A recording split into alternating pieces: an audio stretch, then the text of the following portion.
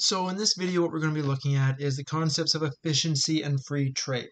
So keep in mind, by having supply and demand, we do technically already have trade occurring, right? We have the producer trading their goods and services, selling their goods and services to the demander, the consumer, and thus we have that minimum willingness to accept, that maximum willingness to pay, and so we have trade within the market itself. What we're going to be looking at here is that expansion of, say, domestic or local trade to international trade, the trade between two different countries, or even sometimes two different regions, two different provinces. And we'll take a look at the efficiency gains that can be had by opening up to trade and the benefits to be had there.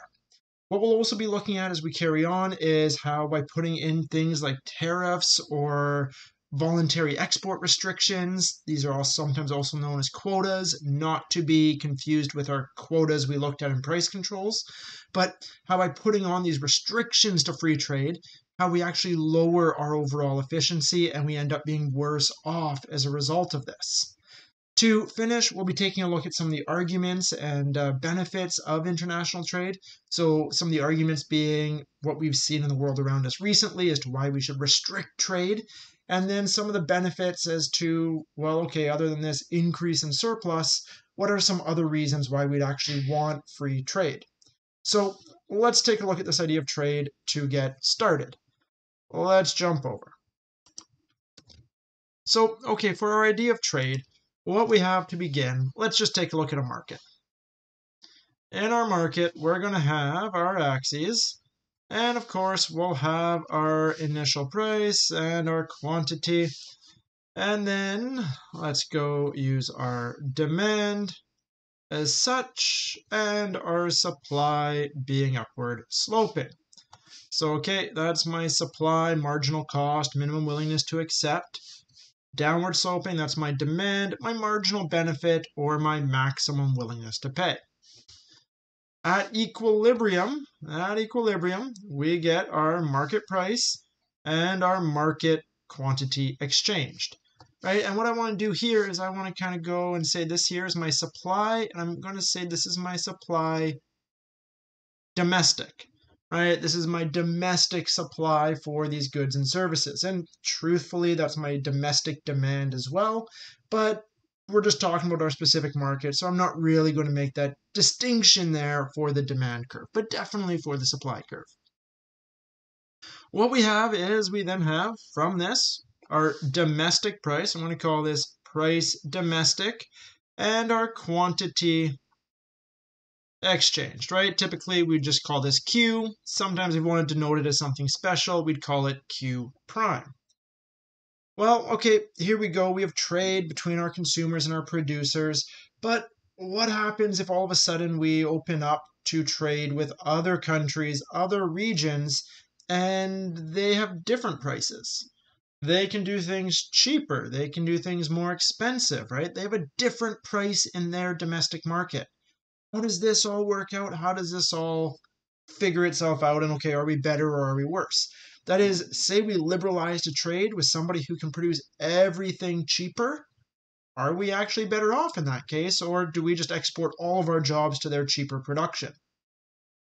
Hopefully, if you recall back to how we started off this semester with our trade chapter, we realized that hey, trade is not determined by absolute costs, but by comparative costs, and that is by really that comparative advantage. So even if a country can do everything cheaper, well, there's going to be a difference in opportunity cost, and there's always going to be room to gain from trade as long as there's actually that distinction between opportunity costs. So, one of the things we're going to be taking a look at. First, we need to take a look at, though, in order to expand upon this, in order to kind of get how we wind up from this point here, we need to take a look at a concept known as the law of one price. That is loop, the law of one price. And what the law of one price is really getting at is that any globally traded good or service will be traded at one price. Right? It won't be traded at one price in one place and a different price in another place. No, no, no. It'll have the exact same price everywhere where it's bought and sold if it's a globally traded or even just a traded good or service. And so formally what this looks like is it looks like price domestic times our exchange rate plus our transportation cost. I'm going to call this T small c will equal our world price, right? And so that world price, this would be really in terms of foreign good. And what we could do is we go through all of this and say, yeah, okay, my domestic price is going to be one and the same, including any transportation costs, as what the world price is. And we have this one price everywhere, right? If we have these any slight deviations in domestic prices, it's because of exchange rates and transportation costs. But typically in the long run, we'd expect these to equalize out. We're going to simplify this a little bit. We're going to presume, right, just because this is an easy assumption to make, we're going to presume we have a one to one exchange rate. So that is one Canadian dollar for one US dollar, one Canadian dollar for one euro, etc., etc., etc. That's a stretch, right? That's an exaggeration of reality for sure, but it's a simplification that just allows this uh, really to be a lot easier, right? So that we don't have to worry about exchange rates and what you have to trade one for another for. So that's just for ease there. Transportation costs, we are going to presume that these are zero. And in reality, for the vast amount of goods and services out there, these are in fact pretty close to zero. Right? If you think about we put massive amounts of t-shirts onto a cargo ship to ship across the world, well, that cost per t-shirt for transportation approaches zero. Right? You might be looking like $100,000 to ship your t-shirts, but because you're shipping a few million t-shirts, that cost per t-shirt is approaching zero is exceptionally small. So for most goods and services, this is not an exaggeration to say. So in that case there, if we make these two assumptions, this is going to simplify to be price domestic equals price world. That is, our domestic price is going to always just be stabilized to the world price the world price will always be the prevailing price. And that's the big thing to keep in mind. The world price is always going to prevail. And attached to that, a reason as to why that's the case is kind of an assumption that was kind of implicitly there, but not not stated. So let's take a look at that. This is an implicit assumption that we have a small economy. That is, we are, whatever good we are buying or selling from the world on whole, we are small in relation to the world. If we make t shirts, the amount of t shirts we supply to the world is hardly consequential, right? No one's going to notice if Canada stops making t shirts, or they might, but they're not going to significantly notice. Very similarly, if Canada was a demander of coffee, if Canada all of a sudden decided, yeah, you know what, we don't want coffee anymore, well, again, that's not going to be a huge impact on world markets. We're not really going to influence it too much one way or another. We're just too small on the global stage. Truthfully, this whole idea of a small economy and this international trade thing, this works well for most countries around the world, right? For most countries, for the stuff we buy and sell, we are a small economy. The exceptions to this, the exceptions of this, truthfully, would be the US. They would be a large economy the Eurozone together, and China. Right? Those three, they would be definitely large economies. This wouldn't really apply to them. We'd have some exceptions to make, some different rules to look at beyond the scope of 103. That'd be more if you get into a trade theory course. So, outside of those three economies, everybody else would be a small economy, and thus this would apply just fine. Well, let's see why this law of one price works, right? Let's see why why this is the case. And let's suppose we're talking about we're talking about jackets. And we have here in Canada, let's say we have the price of a jacket is $100, but the global price of a jacket is going to be well, let's say the global price is going to be 150. So okay, global price is 150 it's like whoa why is that the prevailing price like we're willing to do this for 100 here in canada why would we be doing this global of 150 instead why would i buy a foreign jacket if I can buy a domestic jacket for $50 cheaper. Well, you're right. Why would you buy a foreign jacket for 150 if you could buy a domestic jacket for 100? Perfectly legitimate question. But here's the flip side of this question. Are producers of jackets, right? So they'd be able to produce and sell jackets for $100 domestically.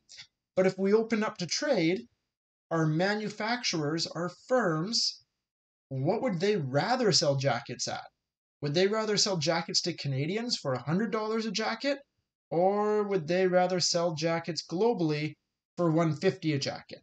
Right? And keep in mind here, we've assumed that our transportation costs are zero. So that is just direct comparison of price that the firm gets to sell it for.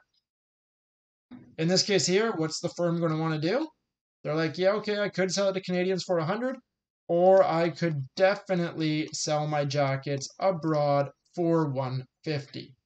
So in this case here, they're like, yeah, sorry, Canadians, this market kind of wins. This foreign market seems a lot better. This is where I'm going to be sending my jackets to. In this case here, this global price prevails, and price of jackets in Canada would rise to meet this global price. What about if we had another good, right? What if we had another case here? And let's say that in this case, I don't know, let's keep in with this textile theme. Let's go t-shirts. And let's suppose that price domestic for t-shirts was something like 15 a t-shirt, but the global price was 10. So in this case, right, just domestically, without any trade, without any international trade, Producers, consumers, they're coming together. Market forces are determining a price of 15.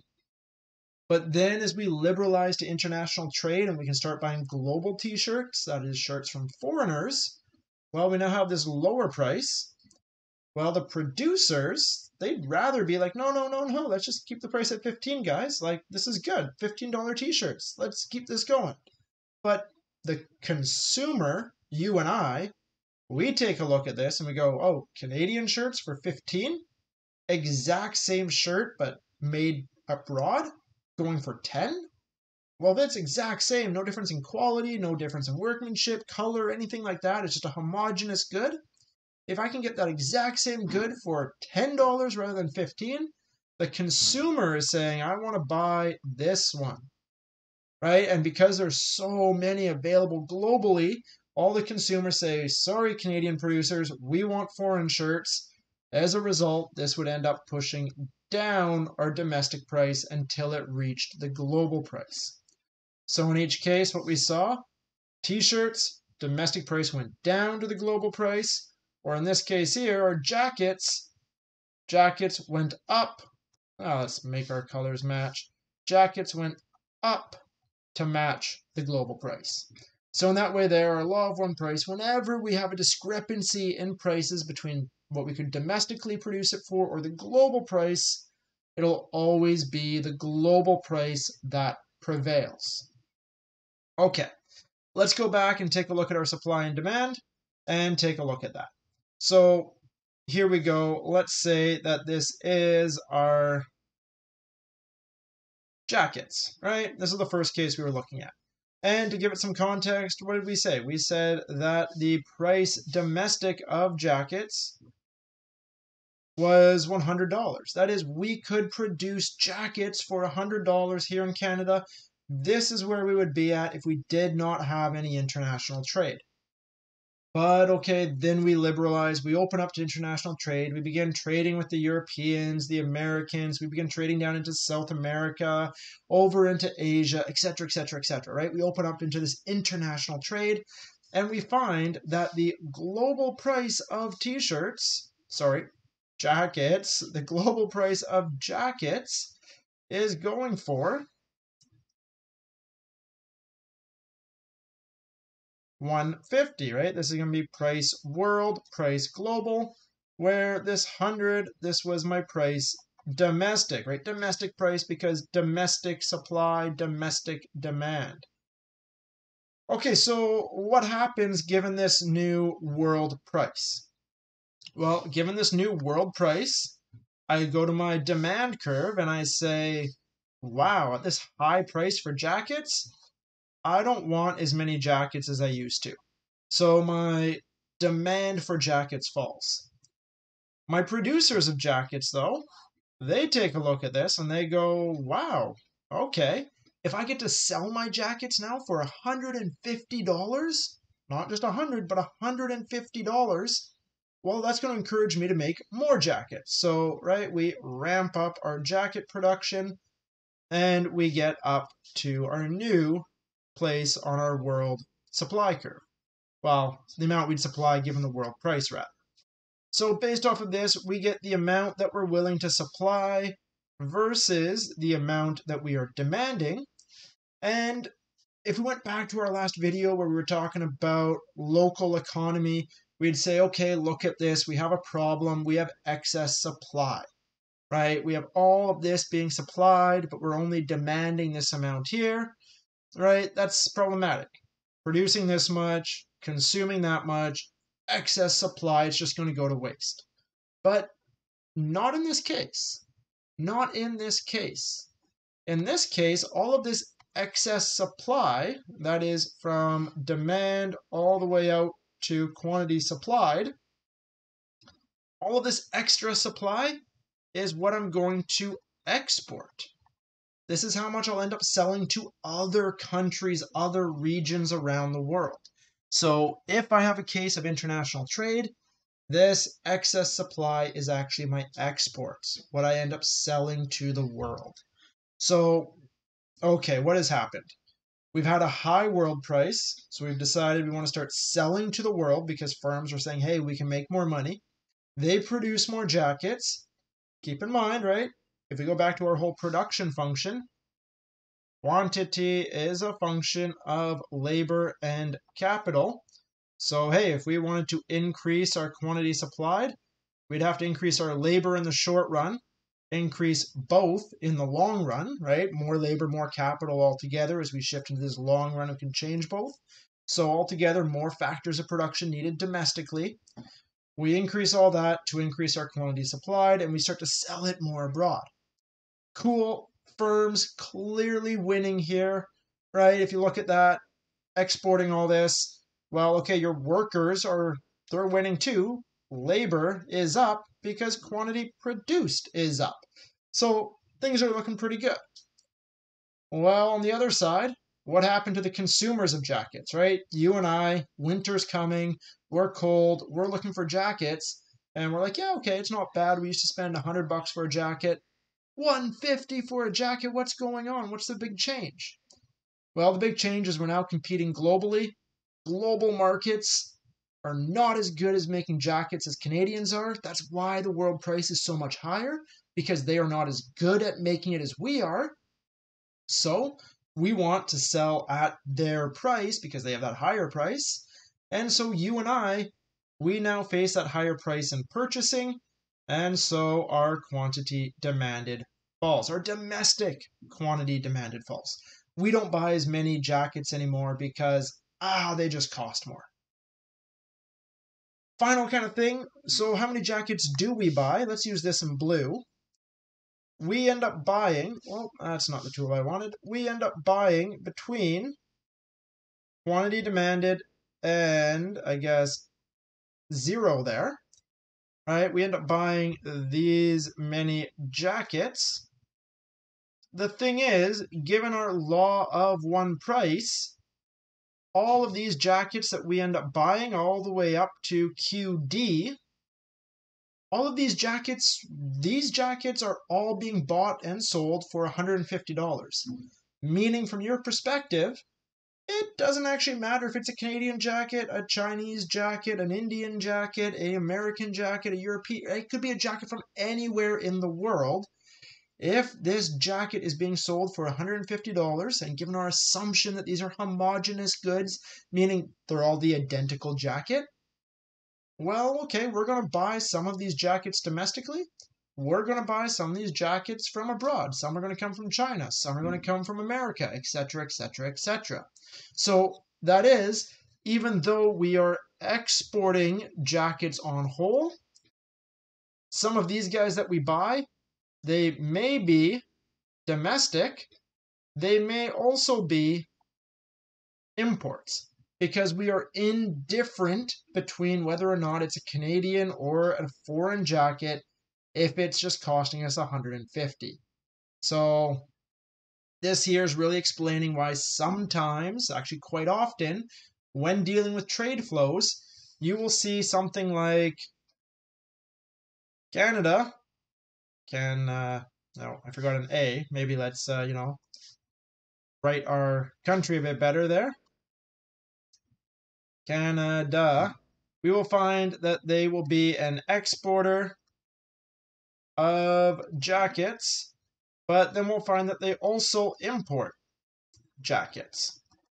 Or Canada's an exporter of crude oil, but yet we also import crude oil. And at first, that seems to make no sense. You're like, why would we export it if we are then just turning around and buying it from somebody else?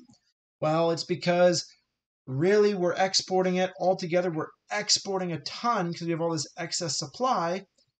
The stuff we import was just out of convenience. Sometimes it's just easier to deal with sellers, firms down in Washington state than it is to deal with sellers, firms out in Ontario.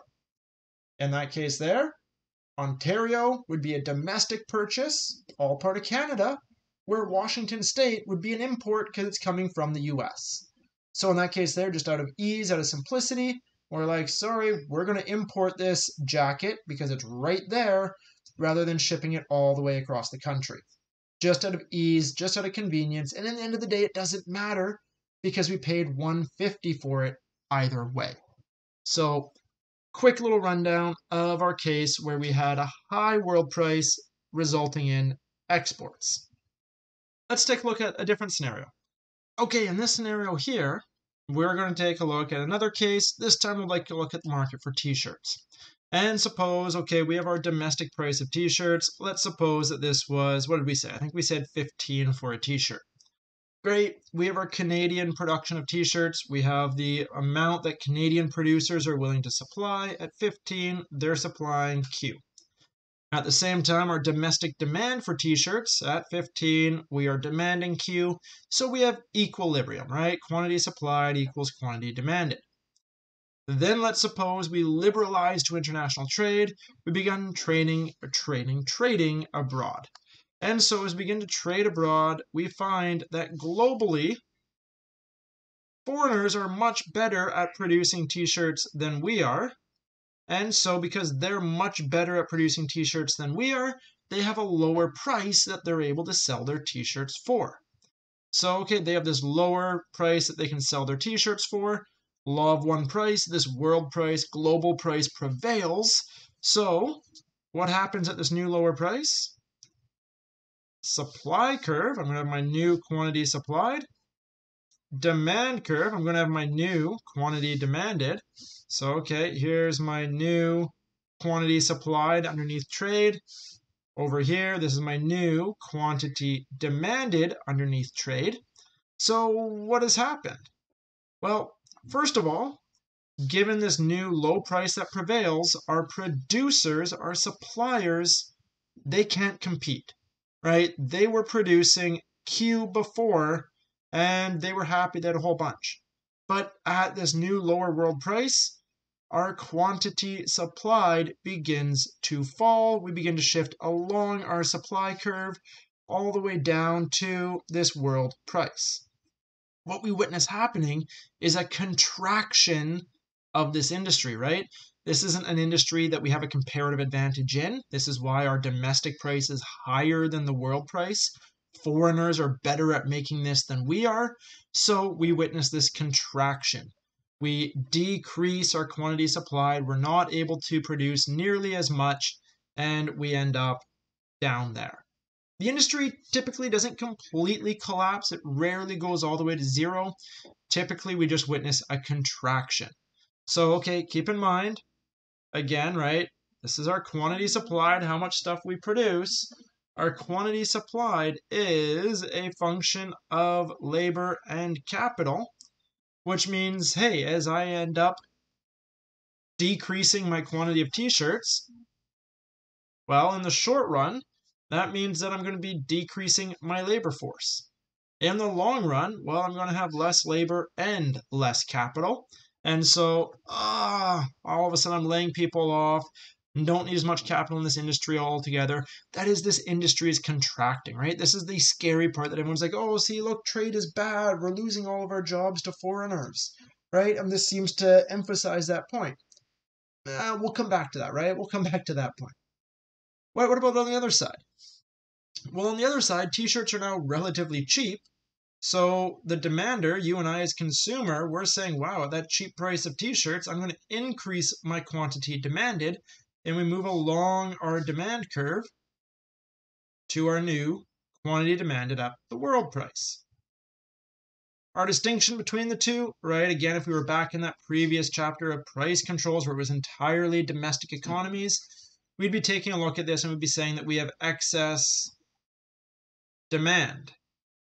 We have more that we want to buy of t shirts than we're able to produce. Oh, this is problematic. But in our case, we're a small player. We have all this excess demand for t shirts that our local producers cannot satisfy. What do we do? Well, we just go to the world.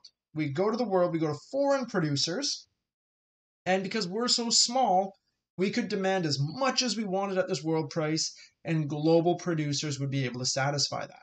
So, in this case here, excess demand means that we are going to be net importers of t-shirts. We're going to be importing t-shirts on whole. So we'd have this happening there. Okay, we've taken a look at the export side. We've taken a look at the import side. Let's kind of bring this all together so we can kind of witness what's happening here. Well, let's jump and take a look at where this all fits in.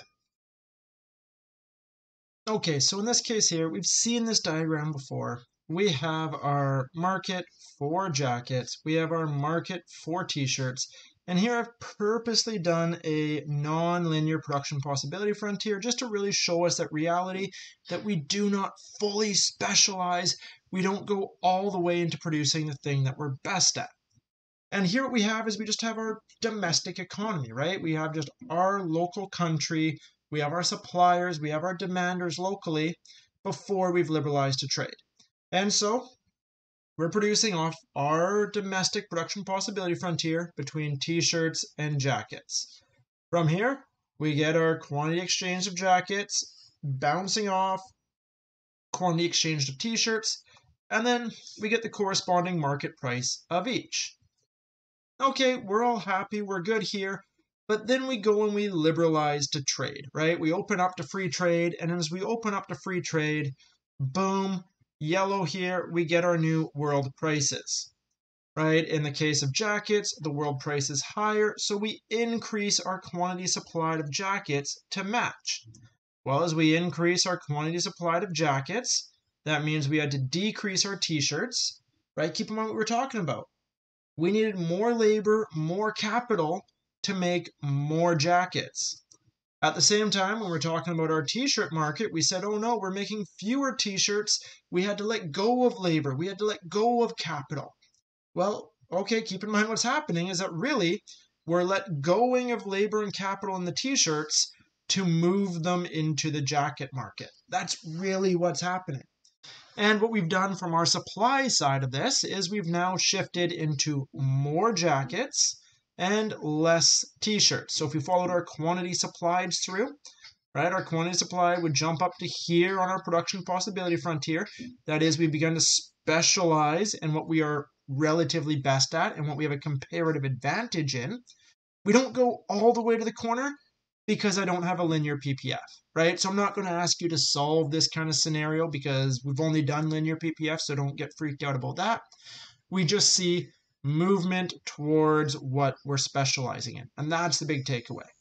So if I'm increasing my jackets, I've decreased my t shirts, and thus my new quantity supplied of t shirts. But okay, that's our production side. Production is still based off of our production possibilities frontier.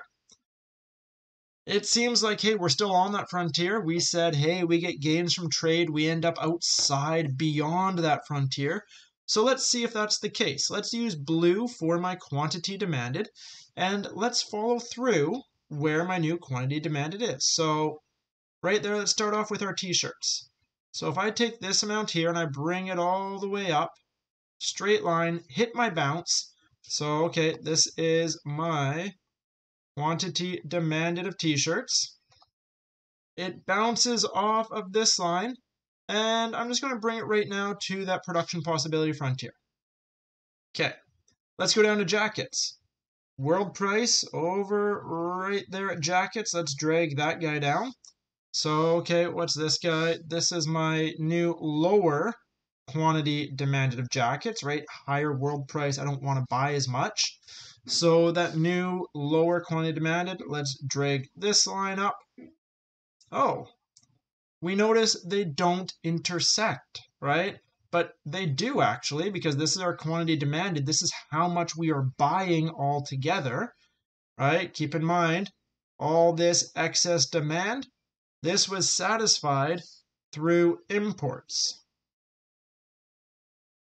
Over on the right-hand side here, all of this excess supply, this was all sold off as our exports. Right, and then all this extra money we got from selling jackets at a higher price than we would have been able to gave us extra money to be able to buy more t-shirts. So as a result, where does our quantity quantity intersect over here in the amount we're actually able to consume? Well, the where it intersects and the amount we're able to consume is out over there which clearly, this point here is clearly off of our production possibility frontier, clearly beyond our production possibility frontier, and thus clearly we are much better off by engaging in this international trade rather than just having trade within our domestic markets. We get a much higher level of consumption altogether, and thus a much higher level of quality of life, standard of living, etc., etc. Now, the fear with trade often is hey, boom, this t shirt sector where we're importing t shirts, we just had this destruction of our t shirt sector, right? Quantity of t shirts produced fell. And as we stopped making t shirts, all of those t shirt workers got laid off. All of that capital that was in the t shirt sector got just depreciated. It's no longer there. It's no longer good for anything. Oh no, what a waste. Foreigners have stolen our jobs. But no, they haven't. Keep in mind that yes, this sector contracted, but the only reason why the jacket sector was able to expand, the only reason why we were able to get more jackets produced is because we took that labor, we took that capital from the shrinking sector. So that is, jobs were not destroyed due to trade, jobs were displaced, they were reallocated due to trade. Our production, yeah, our production still stays on our PPF, right? We're still just producing. Now, instead of at the white intersection, we're now producing at this yellow intersection here. But despite producing at the yellow, we can now consume beyond our production possibilities out at the blue point. So all of this really just to wrap together everything we've looked at this semester so far, starting off with our production possibilities frontier, trade-off, how we come up with trade, that into our supply and our demand diagrams, and then now bring it all full circle through the law of one price to see how it all fits together where are we going for the rest of this video? Well, in the next video, what we're going to be taking a look at is we're going to be taking a look at surplus analysis with and without trade. So how we conduct the surplus analysis, what is our welfare before trade, what is our welfare after trade. So right, if we want to take a look at that, here we go.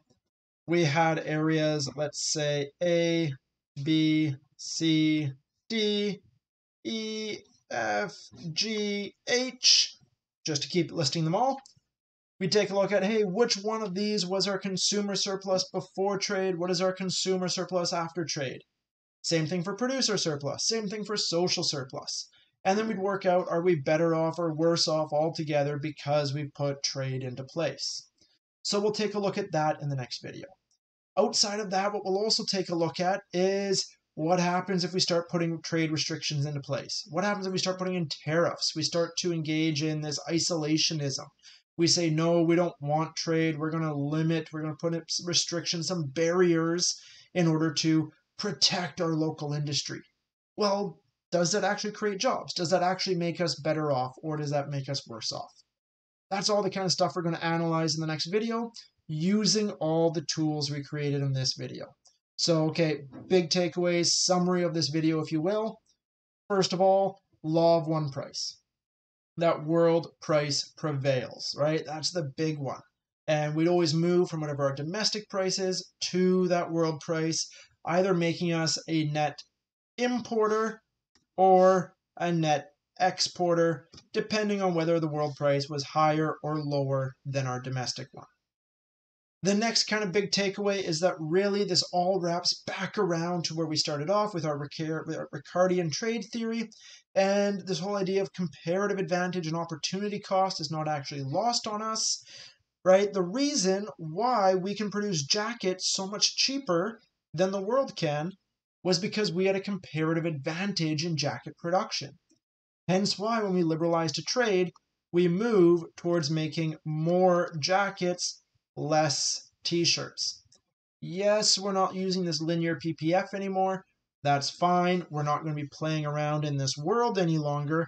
We're going to be focusing in on one single market, just the jacket market or just the t-shirt market. But we have to kind of keep in mind there is a bigger picture out there and these do file through to each other, right?